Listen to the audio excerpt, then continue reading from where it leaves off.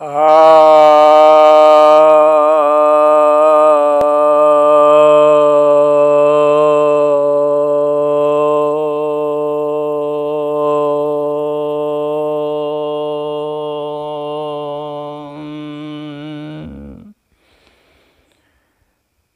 भक्तजनों को सब प्रेम नमन। भक्तों आज एक ऐसे विषय पर व्याख्यान देने जा रहा हूँ, जो कि कई शताब्दियों से पूरे विश्व मानस को पीड़ित करता आया है। और उसका समाधान क्या हो सकता है, इस विषय पर भी कुछ प्रकाश डालूँगा। मैं भी तत्कालिक रूप से बात कर रहा हूँ कि फ्रांस की एक पत्रिका सार्ली एब्दो ने कार्टून छापा था पैगंबर मोहम्मद का। तो उन्होंने पहले भी छापा था और बहुत उसमें मुसलमानों ने बवाल किया था। इस बार भी छापा और बवाल किया। हत्या भी हो गई कई लोगों की। फ्रांस ने कई मस्जिदों पर ताले लगा दिए। फ्रांस का बाइकआउट शुरू हुआ। तो फ्रांस के राष्ट्रपति ने सख्त रुख अप, अपनाया है। तुर्की और पाकिस्तान और बांग्लादेश और कई मुस्लिम देशों ने इस्लामिक एकता, इस्लामिक अपमान की बात कह के, फ्रांस को बाइकआउट करने की, फ्रांस के प्रोडक्ट के बाइकआउट करने की बात कही है। भारत ने साथ दिया इसका। भारत ने फ्रांस के साथ अपनी सहमति जताई है कि आतंकवाद को हम लोग किसी कीमत पर बर्दाश्त नहीं करेंगे। अब यह एक कोई नया मुद्दा नहीं प्रतीत होता है। भले अभी विश्व लगता है जैसे दो खेमे में बट गया हो, एक तरफ़ गैर मुस्लिम और दूसरी तरफ़ मुस्लिम। या एक तरफ़ आतंकवादी समर्थक और एक तरफ़ आतंकवादी विरोधी। परंतु हमें यह देखना होगा कि आखिर यह उत्पन्न कहाँ से है और इसका सम वास्तविक समाधान क्या है?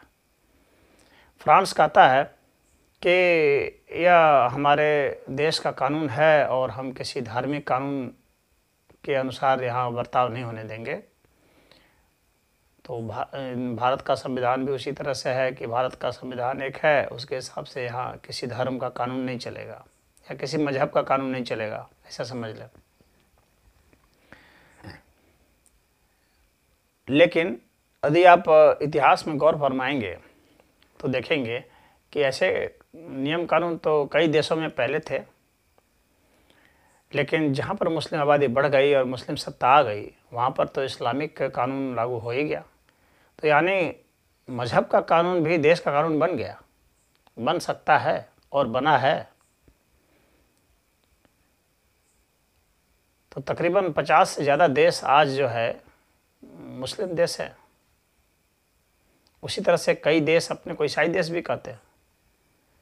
तो ज़ाहिर सी बात है कि जो मज़हब, संप्रदाय या धर्म नाम से जो कानून हैं, वे किसी स्थिति में देश के कानून भी बन सकते हैं। यदि उनके समर्थकों की संख्या ज़्यादा हो जाए और यदि वे उस पर अडिगे हो जाए। तो यहाँ दो बातें हैं। तो जहाँ पर मुस्लिम ज़्यादा हो जाते हैं, वहाँ पर वे अडिग हो ही जाते हैं उस पर, क्योंकि यह उनके कुरान में लिखा है। तो हम ये पूरी आतंकवादी घटना को अगर हम देखेंगे उस परिप्रेक्ष्य में जो मुस्लिम आतंकवाद है तो उसको हम कुरान में ही पाएँगे और मोहम्मद साहब के जीवनी में पाएँगे। उन्होंने अपने जीवन चक्र में बहुत सारे युद्ध किए, बहुत सारे लोगों को यातनाएँ दी, बच्चों, महिलाओं तक को यातनाएँ दी। वे उनके आदर्श हैं मुसलमानों के। तो उनके भी आदर्श हो सकते हैं, वे सभी के आदर्श नहीं हो सकते। अब उनके वे जो आदर्श हैं तो वे अपने उस आदर्श को अपने तक सीमित नहीं रखते हैं। वे चाहते हैं कि उनके आदर्श दूसरे के लिए भी आदर्श बन जाए, या दूसरे मान लें, ज़बरदस्ती। अब ऐसी स्थिति में तो युद्ध ही होता है। और वे चाहते हैं कि उनके कुरान के खिलाफ कोई नहीं बोले, और वे जिसके चाहे उसके खिलाफ बोले। वे अन्य किसी भी मत के खिलाफ बोलते रहते हैं और चाहते हैं कि उनके खिलाफ कोई नहीं बोले। तो अब ऐसे में युद्ध की संभावना हो ही जाती है। संघर्ष हो ही जाएगा। वे दूसरे की संपत्ति को लूटना चाहते हैं। दूसरे तो अपने संपत्ति को बचाने की कोशिश करेंगे। वे दूसरे की स्त्री को लूटना चाहते हैं। तो वे उसको बचाने की कोशिश करेंगे। वे दूसरे के संप्रदाय को लूटना चाहते हैं, उसे ख़त्म करना चाहते हैं। परंतु दूसरे तो बचाव की कोशिश करेंगे। तो ज़ाहिर सी बात है कि यदि उनकी वही स्थिति रही मना स्थिति वही रही और रहेगी ही, क्योंकि कुरान में यह भी बताया गया है कि इसके खिलाफ यदि कोई जाता है तो वो मुस्लिम हो या गैर मुस्लिम, उसे ख़त्म कर दिया जाए। तो ज़ाहिर सी बात है कि कोई भी मुस्लिम उस कुरान में लिखी हुई बातों को बदल नहीं सकता। वो चाहता भी हो भीतर से बदलना तो बदल नहीं सकता। क्योंकि उसकी सज़ा उनमें मौत है। तो क्या स्थिति बन सकती है? एक स्थिति यह बन सकती है कि मुस्लिम में जो बुद्धिजीवी वर्ग है, वह इन दकियानुसी बातों को अमानवीय बातों को, अतार्किक, कुतार्किक और अवैज्ञानिक बातों को खारिज कर दें, उसका विरोध करें। तो यह उनके अंदर की सुधार की संभावना हो सकती है, लेकिन तब जबकि वे बुद्धिजीवी एकजुट हों और पूरा विरोध करें, उसमें कुछ कत्लेआम भी होगा उनमें। लेकिन वे धीरे धीरे खुफिया रूप से वे एकजुट होकर के विरोध कर सकते हैं। और वैचारिक रूप से आज का इंटरनेट का ज़माना है। हर व्यक्ति कुछ ना कुछ कह रहा है, कहाँ कौन कितना प्रतिबंध लगा सकता है? कब तक वे इस तरह से करते रहेंगे? कहाँ कहाँ, किस किस से लड़ते रहेंगे? और कितने लोग उसमें बलिदान हैं? कौन अपने जीवन को निछावर करता रहेगा अनावश्यक? हालाँकि उन्होंने यह आश्वासन, एक झूठा आश्वासन दिया है कि जो मरेगा उसे जन्नत मिलेगी। अब जन्नत का कुछ पता नहीं, जन्नत है या नहीं है? अल्लाह है या नहीं है, इसका भी पता नहीं है। ना इसका कोई प्रमाण वे दे सकते हैं, ना वे सामने शास्त्रार्थ आकर के बहस कर सकते हैं और उसमें सफल और नहीं हो सकते वे। इसीलिए वे जिद पर उतारू होते हैं, मारपीट पर उतारू होते हैं, क्योंकि वे तर्कपूर्ण ढंग से, वैज्ञानिक तरीके से उसको नहीं रख सकते, उस उस विषय को वे सिद्ध नहीं कर सकते। तो जब वे सिद्ध नहीं कर पाते हैं तो वे ज़बरदस्ती करने की कोशिश करते हैं, या वहाँ से हट जाते हैं। या फिर वे मारपीट करेंगे या कत्लेआम करेंगे, ऐसा वे करते हैं। और उनसे उनका भी जीवन नरक हो गया है।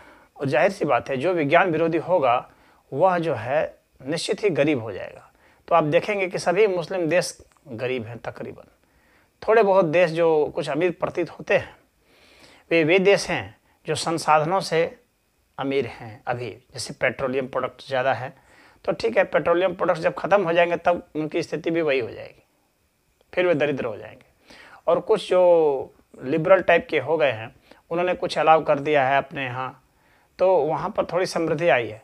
अमूमन आप देखेंगे कि सभी मुस्लिम देश गरीब हैं, और उनकी गरीबी के कारण यही है कि वे कुतर्क करते हैं, अवैज्ञानिक बातों का समर्थन करते हैं।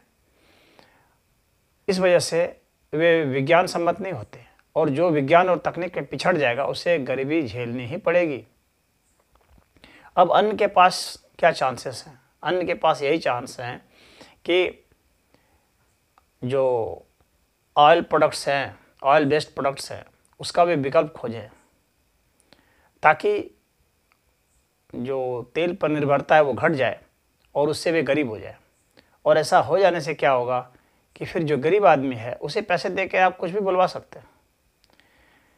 उनके जो मौलाना मौलवी हैं, या बुद्धिजीवी हैं, या ऐसे लोग हैं, जो कुछ समझदार हैं, उनको प्रोटेक्शन दे करके और उनको धन मुहैया करा करके भी आप, जो सही बात है, जो इस्लाम के हक में है, उसको बुलवा सकते हैं। तो यह रास्ता उनको अपनाना चाहिए, जो गैर मुस्लिम है। कि वहाँ की गरीबी का फ़ायदा उठाना चाहिए इसी अर्थ में कि उनके माध्यम से ही उनके खिलाफ आप बुलवाएँ। तो वह तरीका हो सकता है। यदि गैर मुस्लिम बोलेंगे तो वे विरोधी में विरोधी समझेंगे उसको और उससे खड़े खड़े हो जाएँगे।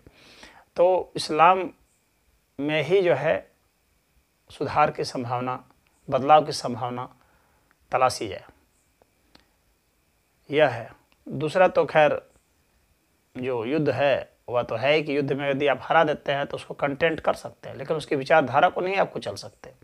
आपको उनकी जो विचारधारा है, कुरान या मोहम्मद के जीवन के जो शरीयत है तो उसमें जो जो खामियाँ हैं, उसको आप फ़िल्म के माध्यम से या उपन्यास के माध्यम से या किसी भी साहित्य के माध्यम से या इंटरनेट के ज़रिए वीडियो से, कैसे भी उसके आप खंडन में आप बोलें तो इसका भी असर पड़ेगा जो तर्कपूर्ण होना चाहिए और मानवीय होना चाहिए।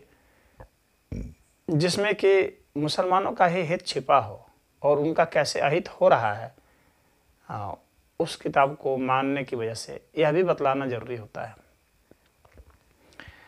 और तीसरा जो वेस्ट कर सकता है जिस पर उसको शोध करते रहना चाहिए। वह यह है कि तकनीक के ज़रिए माइंड के ऊपर कंट्रोल करके आप उसको माइंड को बदल सकते हैं। तो वह तकनीक निकालिए कि यहीं से बैठे बैठे कंप्यूटर टेक्नोलॉजी से मनुष्य के दिमाग को बदल दें। और ऐसे में आपके पास वह टूल आ जाएगा कि आपको कोई विरोध नहीं करना पड़ेगा और वहीं से बैठे बैठे बदल देंगे। वह एक बहुत बड़ी संभावना होगी।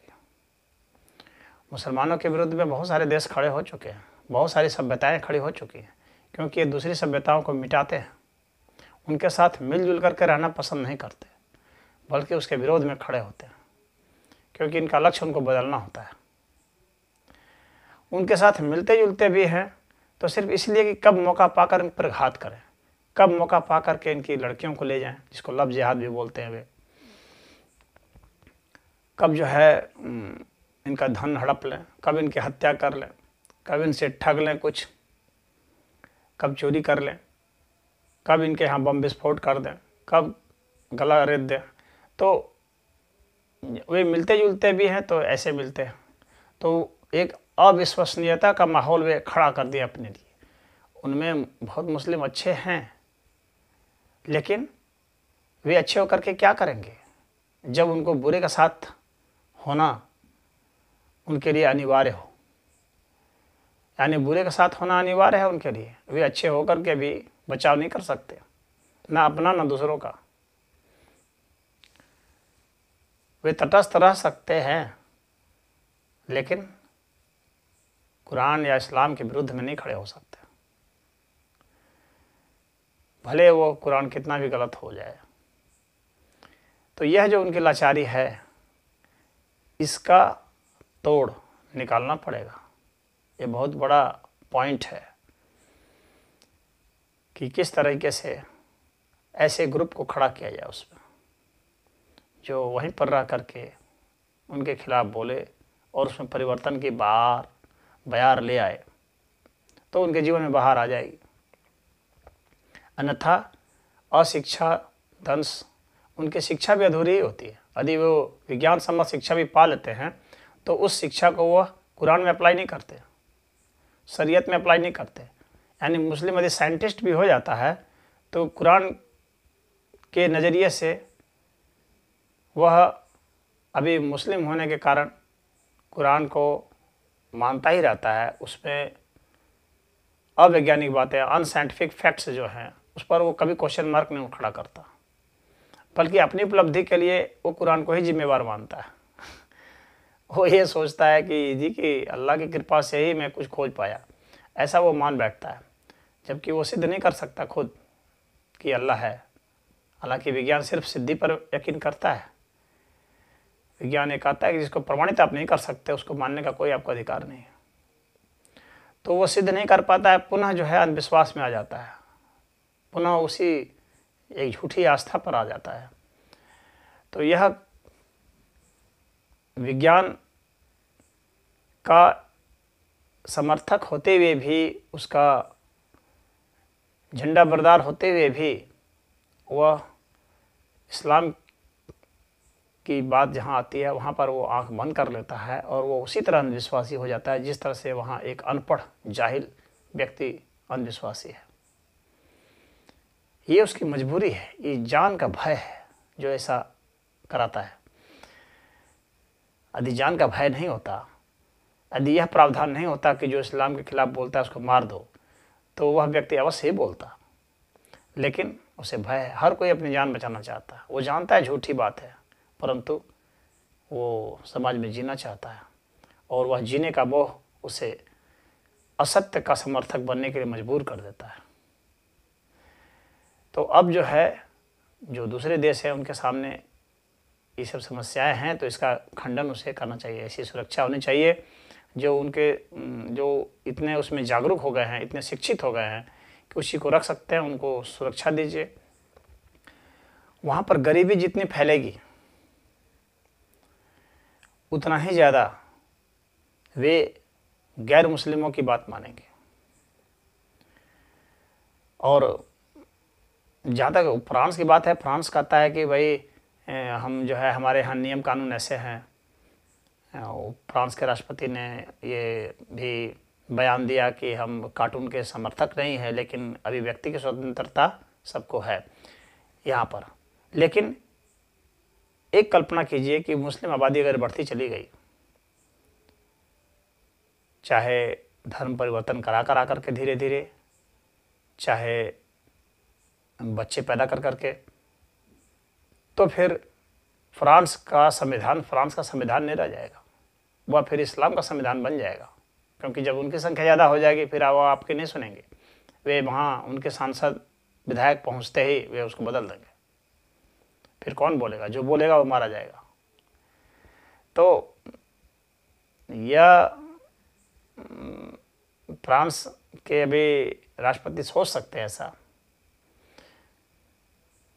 कि यह संविधान ऐसा ही रह जाएगा। और वे कहते हैं कि जिसको, यह संविधान पसंद नहीं है उस देश से चला जाए। अगर मुसलमानों की यह मजबूरी है तो वे वहाँ रहेंगे।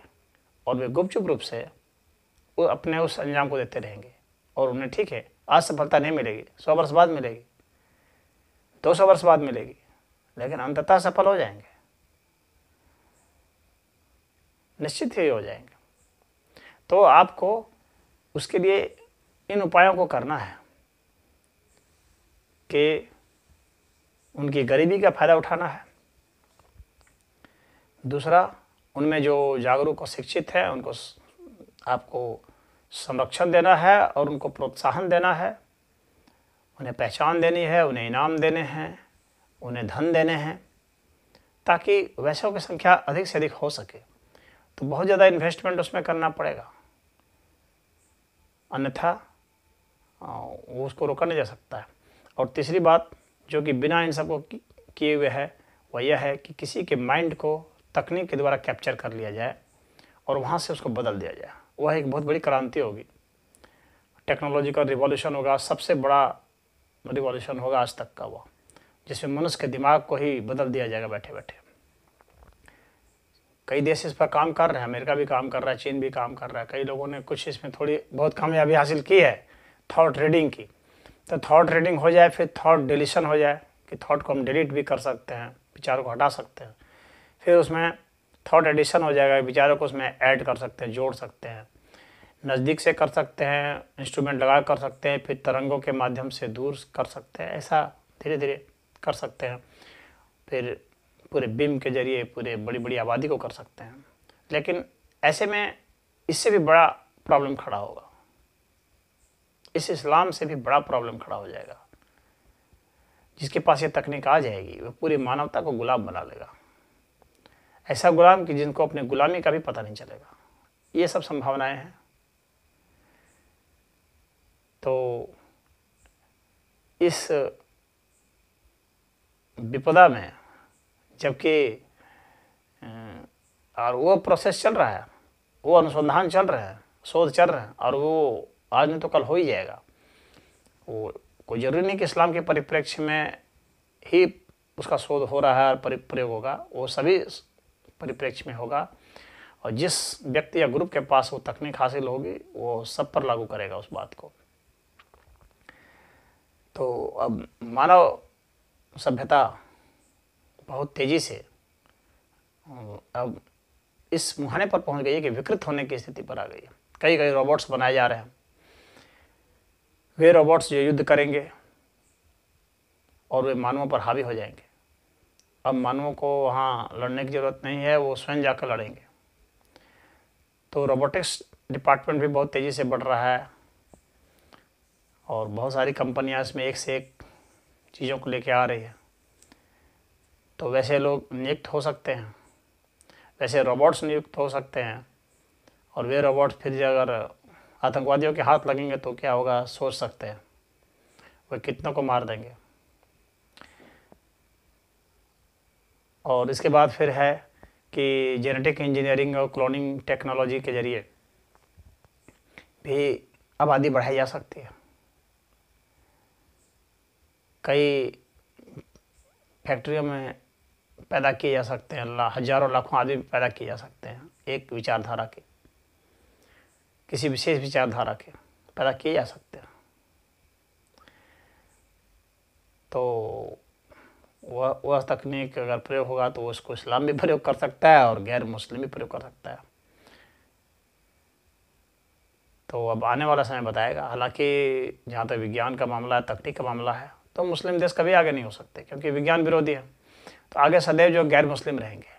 लेकिन दुरुपयोग के मामले में तकनीक जब उनको मालूम पड़ जाएगी तो दुरुपयोग के मामले में वे इनसे आगे रहेंगे क्योंकि सारा दिमाग उनका दुरुपयोग में ही चलता है, हर व्यवस्था का दुरुपयोग। तो उस दिमाग को पहले ही बदल दिया जाए, यह मानव समाज को, पूरे विश्व को स्टेप लेना है। यह परेशानी नहीं आई होती। अगर हज़ारों वर्षों पहले सारे जब रजवाड़ों का समय था तो वे एकजुट होकर के हमला किए होते। जब इस्लाम का उदय हो रहा था, उस वक्त थे। तो हो सकता है कि आज विश्व को यह नहीं देखना पड़ा होता। लेकिन अब विश्व एकजुट हो रहा है, और नहीं होगा तो आगे होना पड़ेगा उसको। अन्यथा फिर तो जो आतंकवादी चाह रहे हैं, इस्लामिक आतंकवादी, वह तो होगा फिर। तो एकजुटता आज के लिए अनिवार्य है और एकजुट होकर के एक्शन लेना अनिवार्य है। और हर क्षेत्र में एक्शन लेना पड़ेगा। तब जा कर के आप इसे कंटेंट कर देंगे। मान, सिर्फ़ जो है एक अपने देश में एक संविधान बना दिए, कानून बना दिए, उतने मात्र से यह हल नहीं होने वाला है। क्योंकि संविधान संख्या पर आधारित है यहाँ। संविधान बदले जा सकते हैं। संविधान कोई सार्वभौमिक चीज़ नहीं है। वो तो जनसंख्या जिसकी ज़्यादा हो जाएगी, उसके बदल दिए जाएँगे। तो भारत का भी संविधान बदल जाएगा, फ्रांस का, अमेरिका का, सबका संविधान बदल जाएगा।